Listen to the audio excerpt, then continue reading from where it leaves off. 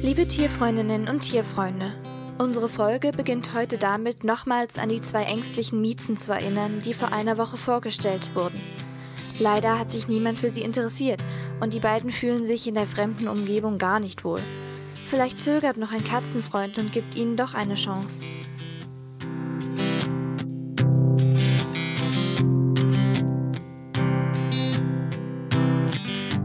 Nun soll es um Meerschweinchen gehen, die in der Gotha Hans C. Wirz Straße gefunden wurden. Diese Straße befindet sich im Ortsteil Siebleben und ist eine Seitenstraße am oberen Ende der Weimarer Straße. Eine Frau ging dort mit ihrem Hund spazieren und entdeckte plötzlich drei Meerschweinchen. Durch ihr verantwortungsbewusstes Handeln konnte ein Mitarbeiter der Archinoa zwei der Tiere einfangen und in Sicherheit bringen. Eins der drei ist entwischt und hat kaum eine Chance, im Freien zu überleben, sagt Tierheimleiterin Katrin Mattes. Bei den jetzigen Temperaturen und der Gefahr, von Katzen oder Füchsen gejagt zu werden, sieht es schlecht aus für das possierliche Tierchen. Die beiden Geretteten werden auf ungefähr eins bis eineinhalb Jahre geschätzt.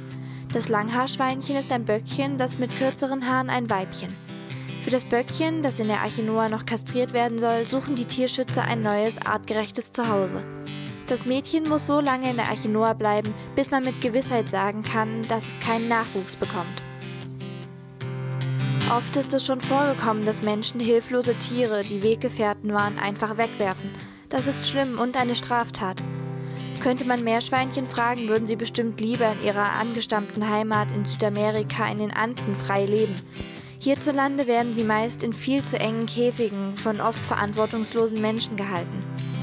Katrin Mattes hofft, dass jemand die Schweinchen erkennt und sich bei der Arche Noah meldet. Gut, dass es Menschen gibt wie die umsichtige Hundebesitzerin. Sie hat den niedlichen Schweinchen das Leben gerettet.